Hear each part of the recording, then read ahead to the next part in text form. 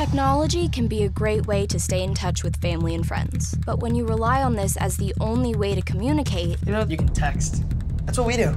but then aren't all your conversations just staring at your phone? You could really be missing out. You should learn sign language. I know, I know, but what did she say? That is what she said. We might all communicate differently, Andy Shack. but what's most important is to make the connection. Will you teach me sign language? Because when we see each other face to face, I like you I like you. Two? too. Two. then we can truly be seen and heard. I'm staying